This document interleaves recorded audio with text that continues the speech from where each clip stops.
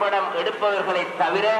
ஏனையவர்கள் தங்களுடைய கையடக்க தொலைபேசியிலும் வாகன சிறப்பு ஒன்று கண்டெடுக்கப்பட்டு காரியாலயத்தில் ஒப்படைக்கப்பட்டுள்ளது நன்றி